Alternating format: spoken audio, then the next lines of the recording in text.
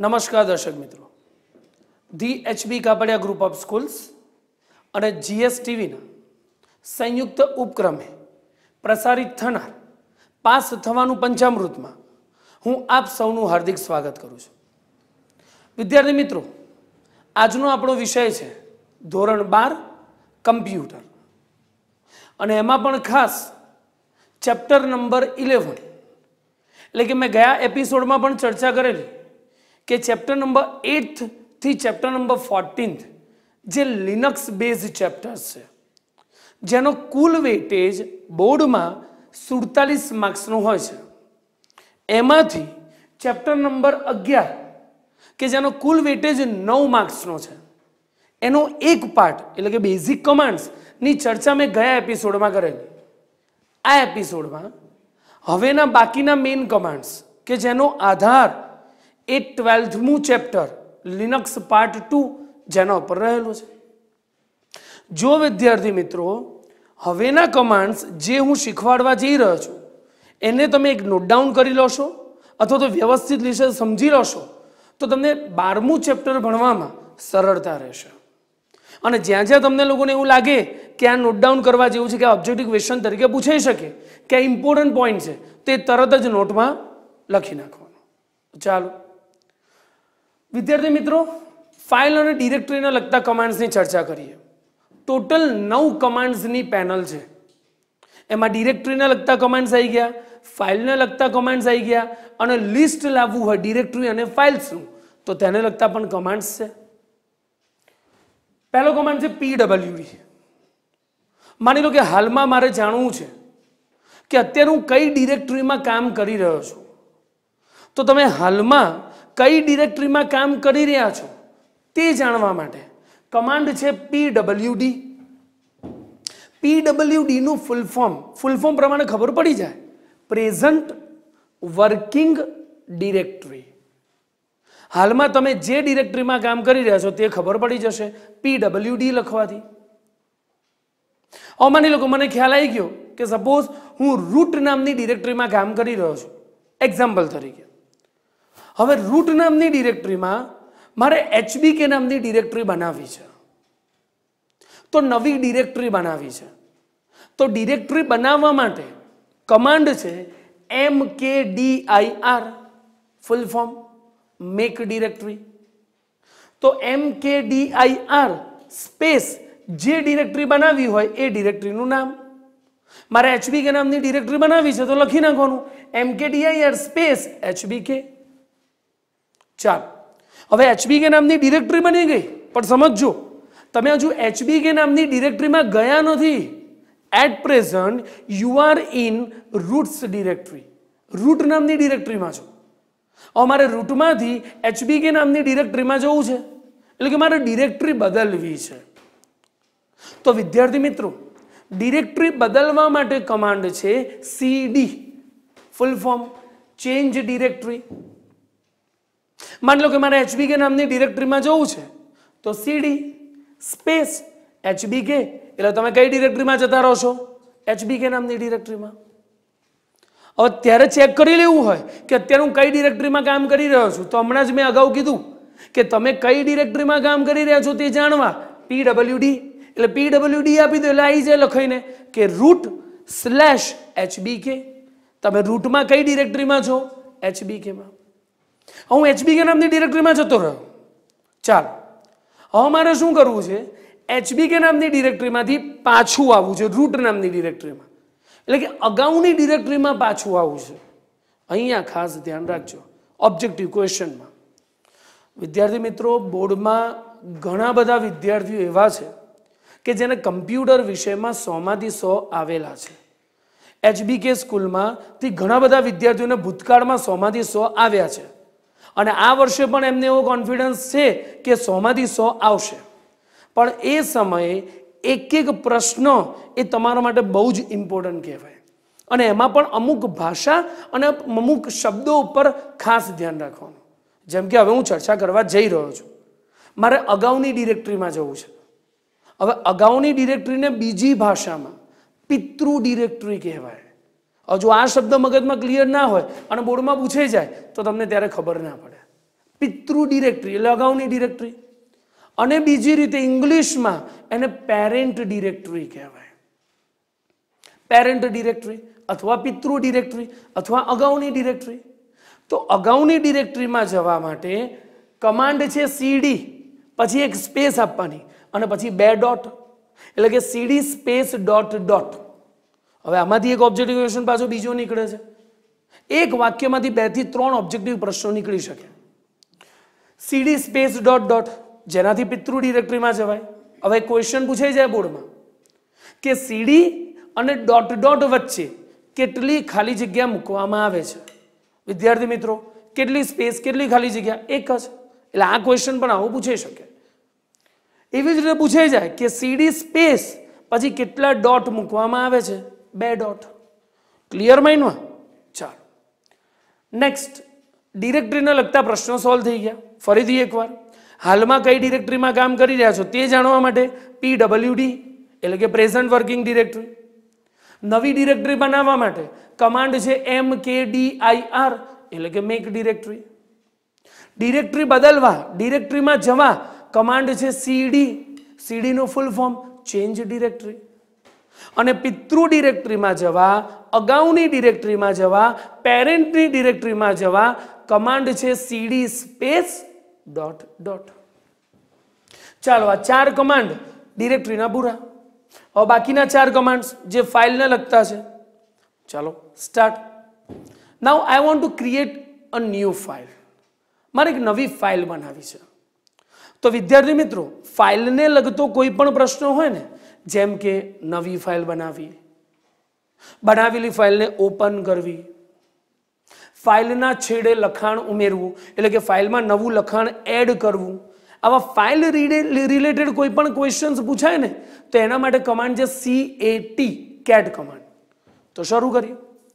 તો મારે નવી ફાઇલ બનાવવી છે. તો કમાન્ડ છે સી એ ટી પછી સ્પેસ આપવાનું, પછી સિંગલ ગ્રેટર ધેનની સાઇન આ પૂછાય છે બોર્ડમાં કે નવી ફાઇલ બનાવવા માટે નીચેનામાંથી કયા ચિહ્નનો ઉપયોગ થાય? વિદ્યાર્થી મિત્રો, નવી ફાઇલ બનાવવા માટે નીચેનામાંથી કયા ચિહ્નનો ઉપયોગ થાય? તો કયું ચિહ્ન? Single, greater than. અને કમાન્ડ પૂછાય, તો લખીને આવો કેટ. કમાન્ડ પૂછાય તો કેટ, ચિહ્ન પૂછાય તો ગ્રેટર ધેન. સ્પેસ ફાઇલનું નામ. માની લો કે એચબી કે નામની ડિરેક્ટરીમાં મારે કોમર્સ નામની ફાઇલ બનાવી છે. તો CAT, space greater than space commerce એટલે કોમર્સ નામની ફાઇલ બનશે. કર્સર આવશે. એમાં જે લખાણ લખવું એ લખી નાખવાનું. ચલો ફાઇલમાં લખાણ લખી નાખ્યું. હવે ફાઇલને સેવ કરવી છે. તો ફાઇલને સેવ કરવા માટે control D control plus D આ કંટ્રોલ ડીનો બીજો યુઝ ખાસ ધ્યાનમાં રાખજો. જ્યારે પણ લિનક્સમાંથી બહાર નીકળવું હોય ઓબ્જેક્ટ ક્વેશ્ચન તરીકે પૂછાય. લિનક્સમાંથી બહાર નીકળવું હોય તો પણ કઈ કી? કંટ્રોલ ડી એવી જ રીતે ફાઇલને સેવ કરવી હોય તો પણ કઈ કી? કંટ્રોલ ડી બીજો ક્વેશ્ચન ક્લિયર ત્રીજો ક્વેશ્ચન મેં ઓલરેડી કોમર્સ નામની ફાઇલ બનાવી દીધી વિદ્યાર્થી મિત્રો, ફરીથી ફાઇલ બનાવવા માટે કયું ચિહ્ન? ગ્રેટર ધેન હવે મેં કોમર્સ નામની ફાઇલ બનાવી દીધી હવે કોમર્સ નામની ફાઇલને ઓપન કરવી છે. ખોલવી છે. તો ફાઇલને ઓપન કરવા માટે લિનક્સમાં કમાન્ડ છે સીએટી પછી સ્પેસ જ આપવાની, એક સ્પેસ અને ફાઇલનું નામ. સીએટી સ્પેસ જે ફાઇલ ઓપન કરવી હોય એ ફાઇલનું નામ. મેં કોમર્સ નામની ફાઇલ બનાવી, એને ઓપન કરવી છે, તો સીએટી સ્પેસ, કોમર્સ. ચાલો, કોમર્સ નામની ફાઇલ ઓપન થઈ ગઈ. કોમર્સ નામની ફાઇલ બની પણ ગઈ. કોમર્સ નામની ફાઇલ ઓપન મેં મેં કરી. હવે કોમર્સ નામની ફાઇલમાં વધારાનું લખાણ એડ કરવું છે. નવું લખાણ એડ કરવું છે. ટેક્સ્ટ બુકનો બેઠો શબ્દ. ફાઇલના છેડે વધારાનું લખાણ ઉમેરવા માટે. બેઠું વાક્ય પૂછાઈ જાય. ફાઇલના છેડે વધારાનું લખાણ ઉમેરવા માટે. તો command CAT space double greater than.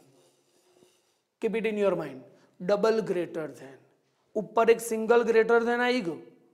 જો નવી ફાઇલ બનાવવા પૂછાય વિદ્યાર્થી મિત્રો, ફરીથી ક્લિયર કરાવું, તો સિંગલ ગ્રેટર ધેન પણ ફાઇલના છેડે લખાણ ઉમેરવા પૂછાય, તો ડબલ ગ્રેટર ધેન સ્પેસ જે ફાઇલમાં લખાણ ઉમેરવું હોય, એ ફાઇલનું નામ કોમર્સ એટલે હું કોમર્સ લખીશ, એટલે ફરીથી કર્સર આવી જશે. તમારે નવું લખાણ એડ કરી દેવાનું. ચલો, નવું લખાણ એડ કરી દીધું. હવે એની એ જ પ્રક્રિયા ફરીથી પુનરાવર્તિત કરો. નવું લખાણ એડ કરી દીધું. ચલો, હવે સેવ કરવી છે. સેવ કરવા માટે કંટ્રોલ ડી ચલો, સેવ કરી નાખી. હવે કોમર્સ નામની ફાઇલને જોવી છે ઓપન કરવી છે. જે નવું લખાણ એડ કર્યું ને, પછી મારે ફરીથી જોવું છે ઓપન કરવી છે. તો એઝ યુઝ્યુઅલ સીએટી સ્પેસ ફાઇલનું નામ. એટલે એનું એ જ રિપીટેશન થાય. ફરીથી વિદ્યાર્થી મિત્રો, નવી ફાઇલ બનાવવા માટે CAT space greater than space ફાઇલનું નામ. ફાઇલને સેવ કરવા માટે કંટ્રોલ ડી ફાઇલને ઓપન કરવા માટે સીએટી સ્પેસ ફાઇલનું નામ અને ફાઇલના છેડે લખાણ ઉમેરવા. વિદ્યાર્થી મિત્રો, બીજો શબ્દ, લખાણ ઉમેરવું એટલે એડ કરવું. એને કમ્પ્યુટર ટર્મિનોલોજીમાં અપેન્ડ કહેવાય. અપેન્ડ કરવું. એટલે અપેન્ડ કરવા માટે પણ બે ચિહ્ન ડબલ ગ્રેટર છે ઉમેરવા નવી ફાઇલ બનાવવા માટે સિંગલ ગ્રેટર થેન અને અપેન્ડ કરવા માટે ડબલ ગ્રેટર થેન ચાલો ક્લિયર હવે ડિરેક્ટરી પણ બનાવી દીધી. ફાઇલ પણ બનાવી દીધી. હવે ડિરેક્ટરી અને ફાઇલની યાદી લાવી છે. શું લાવવી છે? યાદી. યાદીને ઇંગ્લિશમાં લિસ્ટ કહેવાય. શું કહેવાય? લિસ્ટ. તો લિસ્ટ લાવવા માટે, યાદી લાવવા માટે કમાન્ડ છે એલ એસ. કયો કમાન્ડ? એલએસ હવે એલ એસ કમાન્ડ શરૂ કરતા પહેલા બે ત્રણ ઓબ્જેક્ટિવ ક્વેશ્ચન્સ વિશે ચર્ચા કરી લો પહેલો પ્રશ્ન, ફાઇલને લગતો છે. લિનક્સની અંદર હંમેશા ધ્યાન રાખજો. ફાઇલનું નામ વધુમાં વધુ બસો ને પંચાવન અક્ષરોનું હોઈ શકે. ઓબ્જેક્ટિવ ક્વેશ્ચન તરીકે પૂછાય. ફાઇલનું નામ વધુમાં વધુ બસો ને પંચાવન અક્ષરો. બીજું એક ખાસ ધ્યાનમાં રાખજો વિદ્યાર્થી મિત્રો, કે ફાઇલના નામમાં કોઈ જ દિવસ નલ કેરેક્ટર ના આવે. નલ ખાલી. તમે CAT space greater than space કશું જ ના લખો ના ચાલે. કંઈક તો લખવું જ પડે. અને હા ફોરવર્ડ સ્લેશ ક સ્લેશ ફોરવર્ડ ફોરવર્ડ સ્લેશ એટલે વિદ્યાર્થી મિત્રો આ. આને ફોરવર્ડ સ્લેશ કહેવાય. ગુજરાતીમાં સીધો સ્લેશ ફાઇલના નામમાં ફોરવર્ડ સ્લેશનો ઉપયોગ પણ ન થાય. સીધો સ્લેશ એટલે ખાસ ધ્યાનમાં રાખજો. ટેક્સ્ટ બુકમાં ફોરવર્ડ સ્લેશ કર્યો છે. એટલે કે સીધો સ્લેશ અને કાઉન્સમાં બેક સ્લેશ લખાઈ ગયું છે. તે ખાસ ધ્યાન રાખજો. ફોરવર્ડ સ્લેશ એટલે એનું ગુજરાતી સીધો સ્લેશ અને બેક સ્લેશ એનું ગુજરાતી ઊંધો સ્લેશ પણ એને ભૂલો.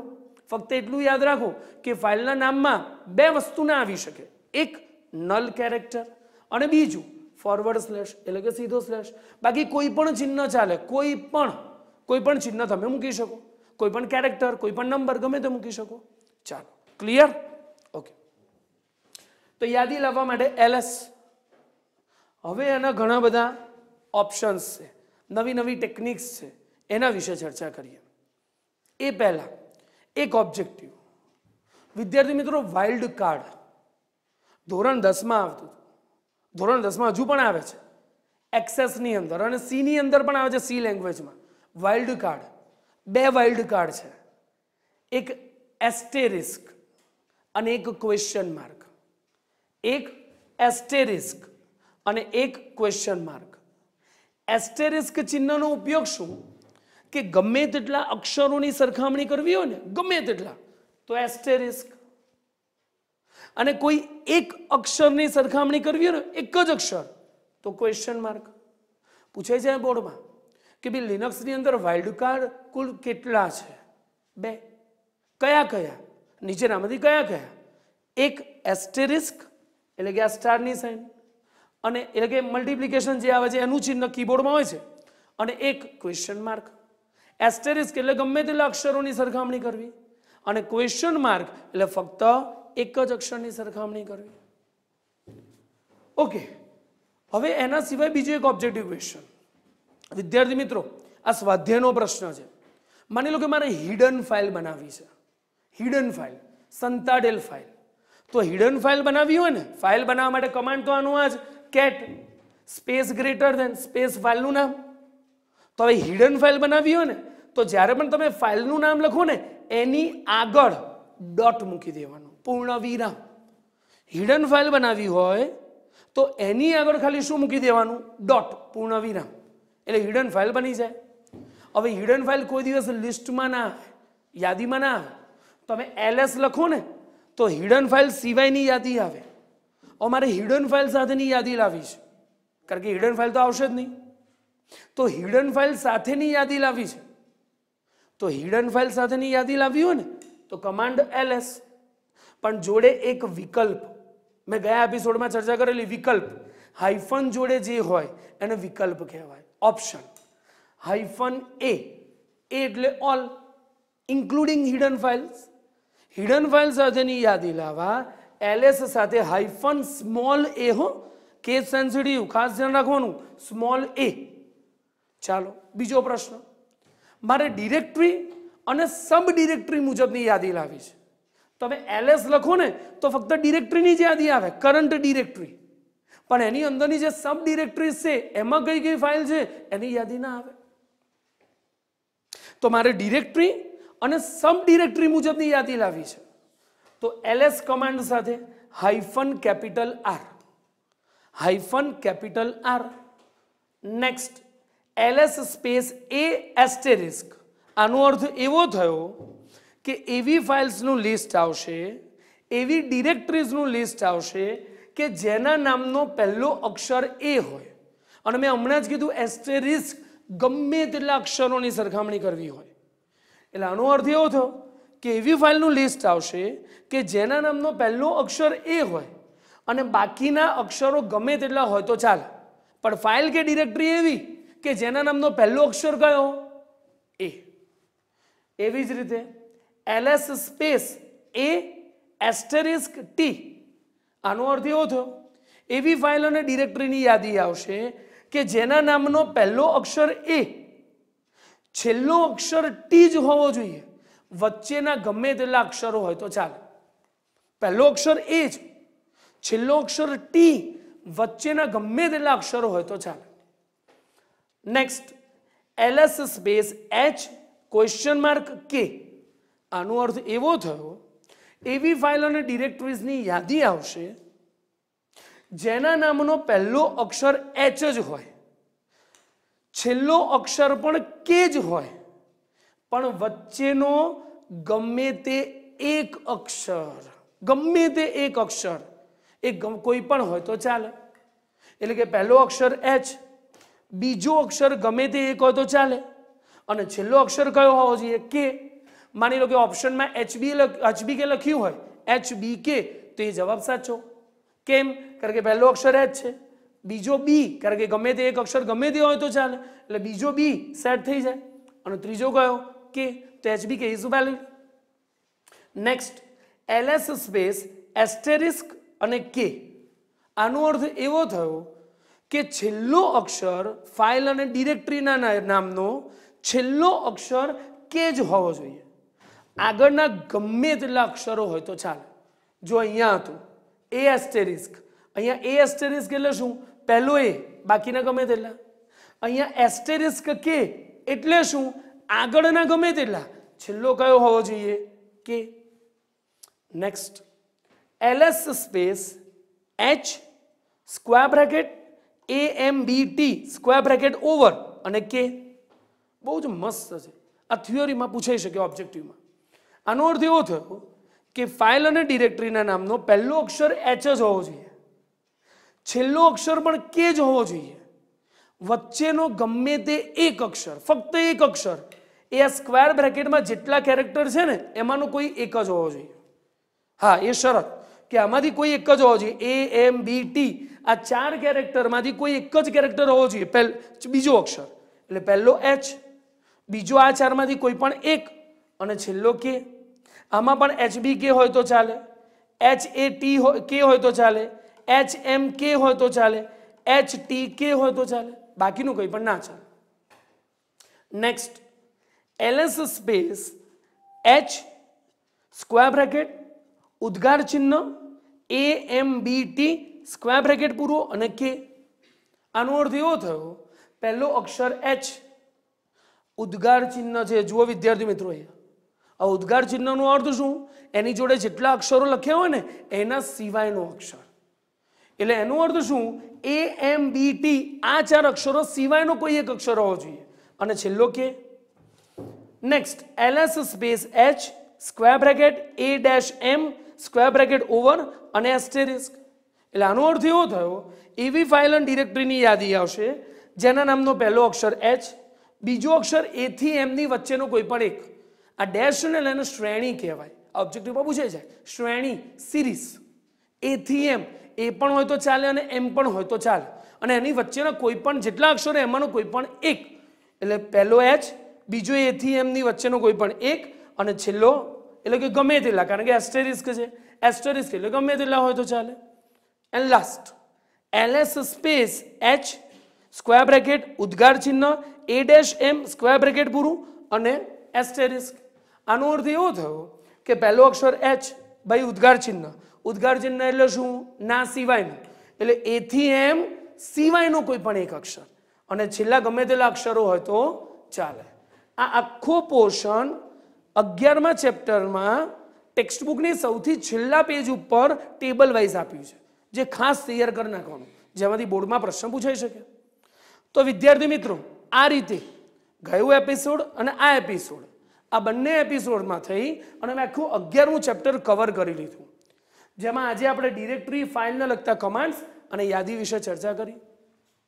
જો વિદ્યાર્થી મિત્રો, તમે આવી જ રીતે ટ્વેલ્થમું ચેપ્ટર થર્ટીનમું ને ફોર્ટીનમું ટેક્સ્ટ બુકને રિફર કરશો, તો હું સંપૂર્ણપણે વિશ્વાસપૂર્વક કહી શકું કે તમે બોર્ડમાં નાઇન્ટી ફાઇવ પ્લસ અપ જઈ શકશો.